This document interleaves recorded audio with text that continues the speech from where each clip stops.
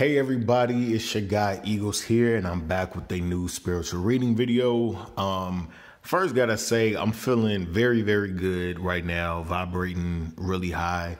Um, I had a dope call with some of my brothers um, today, and I will say this: um, in this time period that we're in, and even outside of this time period, um, with the whole pandemic that's going on it's so important to have a sense of community. And um, if you don't have it, let me know if you guys, you know, want to have like a um what do you call it like a a GroupMe or if you guys want to do you know um some type of like group threads video conferencing whatever um if you guys want to do some type of telecommunication thing to stay connected um, so that you feel like you do have a support system as you're going through this. If you don't have a community of people to lean into, definitely let me know that. You can either email me if you don't feel comfortable putting it in, putting it in um, the comments below. My email is readingsreiki at gmail.com.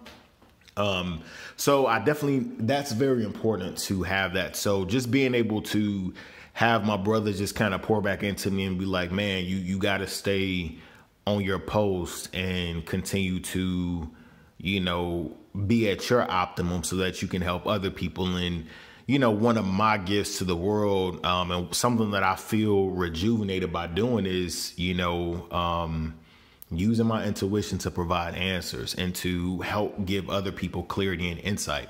So, without further ado, today we're getting into some NBA spiritual um, readings. So, let me first just say again, this is for entertainment purposes. So it may resonate, it may not resonate, but I'm you know how, how I always do. I, I see what I and I see what I pick up on the spiritual realm for different people, and I just have to share that. I have to be transparent about it, and I've definitely gotten a lot more comfortable with presenting information that sometimes people don't necessarily want to hear. But I'm not the type of reader where I'm going to say what you want to hear because it makes you feel good to keep you coming back. Of course, I'm not going to be the type of person either that's just going to be negative and give you information in a way that it feels, you know, disempowering. But I'm not going to kowtow either and sugarcoat stuff. So, Today, we're going to be talking about Kyrie Irving. We're going to be talking about LeBron James, and we're going to be talking about your guy, Steph Curry. All right. Let me give me a little sip of water before we get into this. Who should I start with first, Spirit? Um, okay, Steph Curry. All right. Um, one thing that you have to know about your guy, Steph Curry. Again, this is entertainment purposes. All right. But you got Steph Curry is um he wears a lot of masks. He's a guy who what you see is not what you get. Um and he's someone who's also very very intuitive. He's a very um spiritual man and I'm not just talking about, you know, his faith or his religion he's someone who is very in tune with vibration and um, the laws of the universe, and he knows how to use those things for his advantage. Um, he has the energy of like the cat. The cat is very independent, um, very intelligent, but also very sneaky.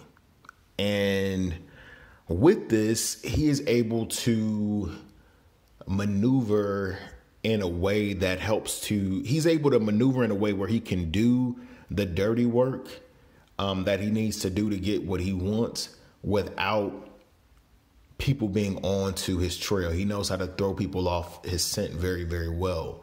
Um, and this is not to say that he is a bad person or he's a good person. This is just what it is. Um,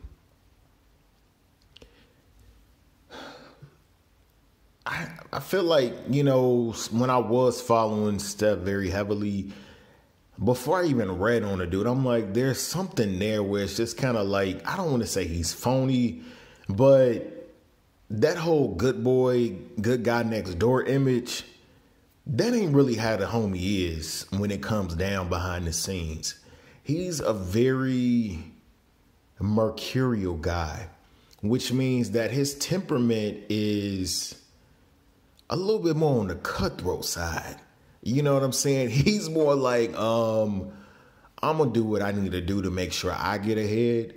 And I, this is the perfect example that's coming to me right now to help explain it to you. Thank you, ancestors. I appreciate this. So you ever see the kid in class who probably on the basketball team, he's, you know, has high honors, you know, he's a good Christian guy and maybe people are saying like he's not having sex before marriage. He's so wholesome and this and that.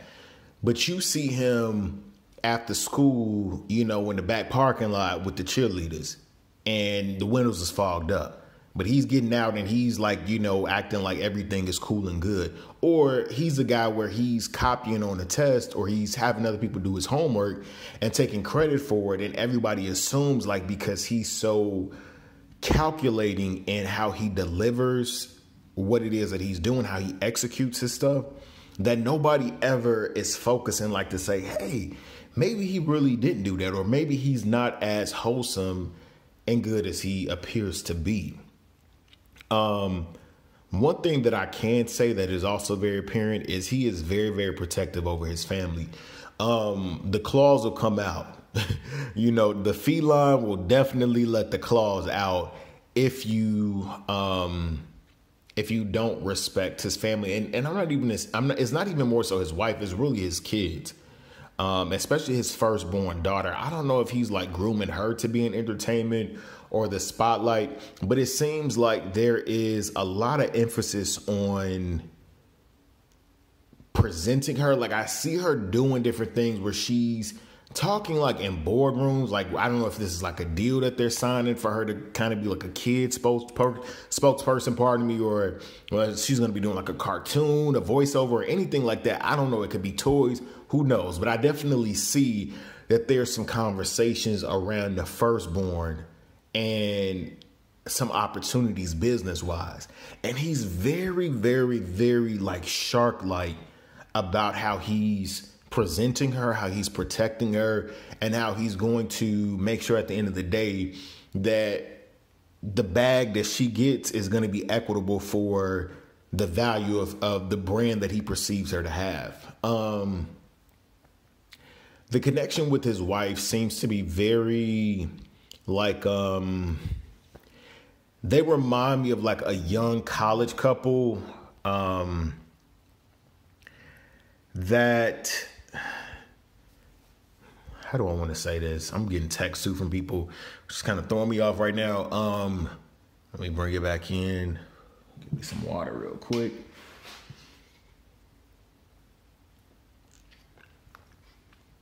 Okay, so the energy that they have with is like how can I best like immature is a word that's coming up. But I don't I don't mean it in the sense of like they're juvenile as if like you know they're just a very silly couple. I mean it more so in the sense that it seems like there's a lot of like fire in that household where um they could be arguing a lot, you know, where there's a lot of conflict.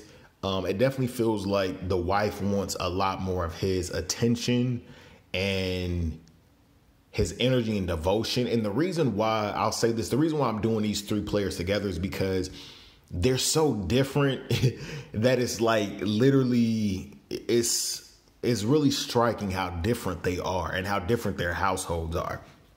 So that's that. That's what I'm, I'm gonna say about that. And let me just segue on over to LeBron, brother LeBron, um, and his wife. So whereas Steph Curry has like an iron fist that he's ruling with, LeBron James is more of the type in his household where he's taking a back seat. It's Savannah who's really running the show. She calling him shots up in there. But he trusts her. And LeBron does not trust a lot of people. He has a lot of trust issues. Um, and a lot of things that stem from his upbringing, childhood, him feeling like he was kind of put in different positions to have to be more responsible at a younger age than he was really ready to be. So as he's older now, it's like he's going to be cordial and he's actually a lot more diplomatic in real life than your guy Steph Curry is. LeBron James seems like he's kind of like, you know, always business minded, you know, doing his thing, but he's more of the guy that you could grab a beer with and actually have a cool chop it up with um, than you got Curry. Now, this ain't to say that LeBron James is a perfect guy by all means because LeBron has an issue with trusting himself. He has an issue with stepping into his own greatness and his own power. And there's a lot of issues that he deals with as far as like his confidence. He has a lot of insecurities as far as being thrust into um, this mega stardom that he has. And his wife is one of the catalysts in his life that he very that he trusts through and through. Um, to kind of help to say, hey, like, yes, this is okay to go down this path. This is cool for you to do this. Or nah, you might want to look out because that may not necessarily be the best move for you. Um, so one thing that I also see is that LeBron is going to be challenged to come from out of come from out of like following.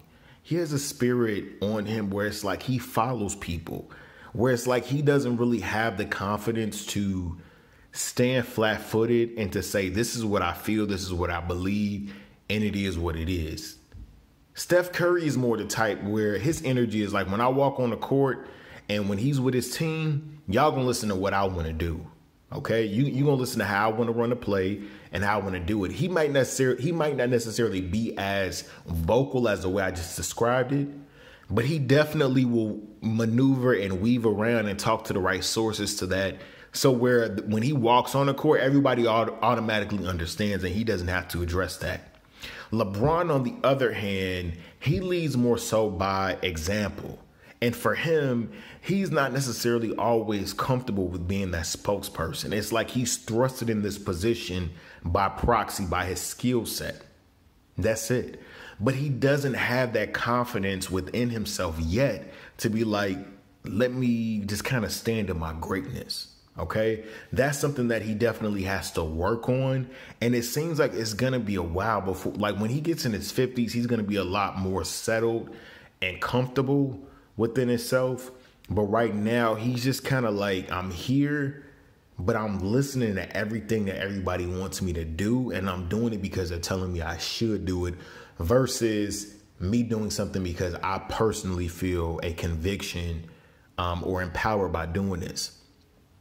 Segue over to your guy Kyrie because I'm not going to be long today. I got some other stuff I got to get into um, business wise, but Kyrie Irving is a very gentle soul.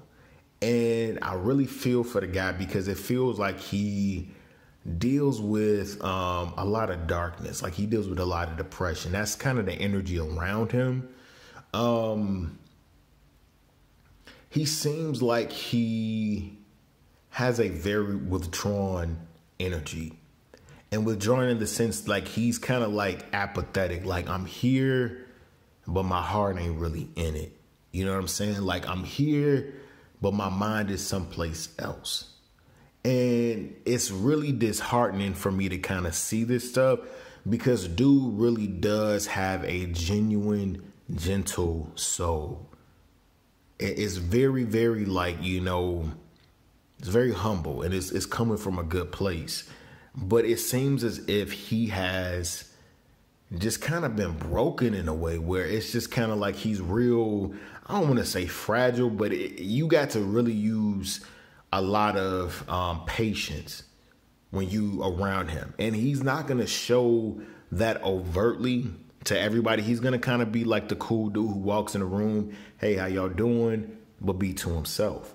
But when you get him on a one on one like stage scenario, you're gonna start to see like, man, like he he really he needs a little bit more support and um, compassion and sensitivity than what some other people may need. And that's very challenging because he's in a, a spotlight where he's a very famous man. He's in sports, which is not something that, you know, people have a lot of sensitivity in. Um, but I feel for the dude. I feel like one beautiful thing for him would be to have more of a quiet life. So to settle down, you know, um, get married, have kids. Like him having children is going to be a way for him to heal because children for him will provide him with an opportunity to be really creative. And through that creativity, he'll be able to release a lot of the frustration um, and disappointment that he's held on to. Um, I also am getting some things as far as like money management. So I don't know if he has his family like on payroll, but it seems like he it's like a hole in the pocket where as a way of just kind of keeping the peace, he'll rather give than to say no. Um, so I definitely would encourage brother Kyrie to um, you know, to do some get get get a trusted advisor, get a therapist, somebody that you really trust who can kind of help him to build that up and to be very, very critical about the friends that he would allow into his life and who he who he surrounds himself with. Because he has the energy of like the sponge where he can absorb a lot of negativity or a lot of positivity. So it's really important to um to maintain and protect that so that's all i got for today um love y'all um if you guys have any thoughts on this if you disagree with the reading, you agree with it, let me know in the comments. Um, as always, ten cuidate, nos vemos y tenga buen día.